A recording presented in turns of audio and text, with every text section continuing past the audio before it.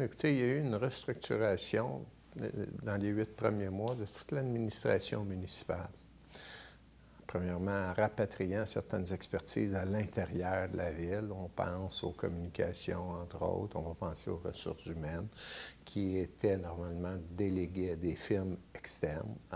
et on le récupère, on récupère l'expertise et à moindre coût. Alors, c'est euh, une situation gagnante pour l'ensemble des citoyens de Laval. Deuxièmement, on a ramené une certaine fierté, un certain climat de confiance parmi les employés pour aller chercher un esprit d'équipe, une synergie pour mieux servir les citoyens. Et là, on s'est attaqué à plusieurs problèmes. Des problèmes au niveau de l'image, l'intégrité. On s'est donné des règles claires des règles qui s'imposent et qui euh, sont nécessaires pour ramener une image de confiance sur l'appareil municipal.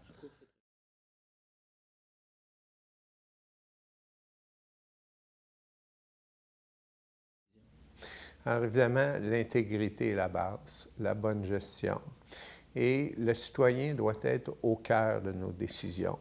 Notre focus, là, c'est de prendre des décisions dans l'intérêt du citoyen, que ce soit des décisions concernant la sécurité, concernant les loisirs, concernant le développement économique, concernant l'administration en général. Il faut toujours que notre objectif soit l'intérêt du citoyen dans l'ensemble, dans, la collectivité. Alors, pour nous, ça c'est important.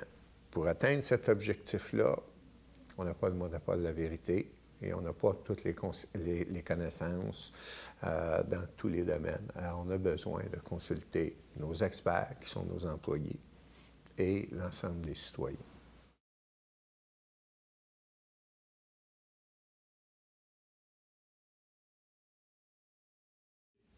Écoutez, il y a eu le dossier des, immeubles Valmartin où euh, on a besoin de logements à prix abordable et, plusieurs de ces logements-là étaient insalubres. Alors, il fallait régler le problème. Il y a eu le problème des commissions scolaires. La commission scolaire n'avait pas d'endroit où construire les écoles. Ça prend deux ans à construire une école. Alors, il y avait un problème immédiat, urgent. On ne voulait pas avoir nos enfants dans des maisons mobiles dans deux ans. Alors, on a réglé ça. Les zones inondables, il y a environ 700 familles qui sont inquiètes de perdre leur patrimoine familial, leur résidence, leurs économies. Alors, il faut régler ça. Et on travaille fort pour défendre l'intérêt de nos citoyens dans ces dossiers-là. Il y a le dossier de la Place Belle. Place Belle, dossier qui avait été mal structuré, mais qui est un besoin pour les citoyens de Laval, qui est un besoin culturel. Et nous avons euh, travaillé fort pour réaligner ce dossier-là et s'assurer la réalisation de la place Belle. Alors, c'est quelques-uns des dossiers qui nous ont tenus euh, pas mal occupés ces derniers temps.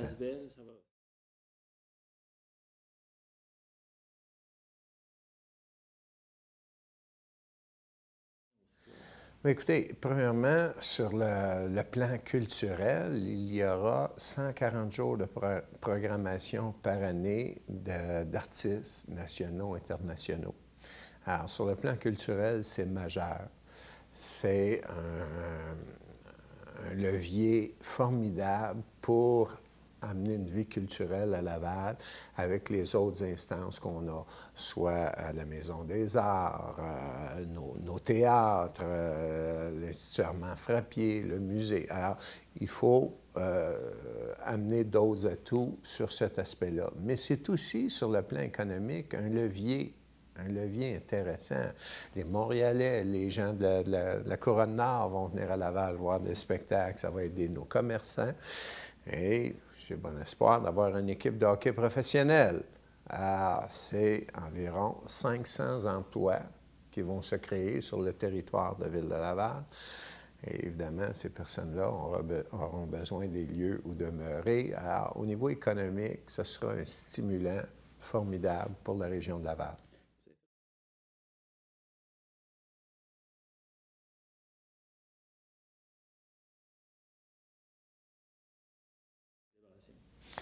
Alors, avec plaisir. Le 50e anniversaire de Ville de Laval, c'est évidemment en 2015, parce que ça fait 50 ans que la fusion s'est faite. Mais il ne faut pas oublier qu'il y a des gens qui habitent sur notre territoire depuis 340 ans. Alors, il y a tout un patrimoine qu'il faut mettre en valeur. Laval, on a malheureusement euh, fait l'objet de l'histoire récente pour des mauvaises raisons. Mais il y a un paquet de belles histoires à Laval. Il y a euh, énormément de talent à Laval. Alors, il faut mettre ça en évidence. Et nous allons profiter du 50e pour faire des fêtes, mettre en évidence notre patrimoine, notre talent, nos citoyens, les belles histoires qui ont formé Ville-de-Laval au fil des, des, années, des décennies, et c'est ce qu'on veut mettre en évidence, et ramener une fierté d'habiter Laval, d'être Lavallois et de travailler à Laval. Alors, il y aura toute une programmation, une première version qui sera rendue publique sous peu.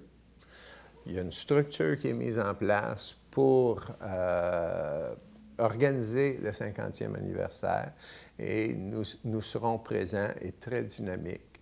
Et je suis sûr que c'est un grand succès et que les Lavallois vont l'apprécier et c'est une belle occasion d'inviter la famille, les gens de l'extérieur, les gens de Montréal, notre banlieue sud, les gens de la Couronne Nord, les gens de Québec et d'un peu partout au pays.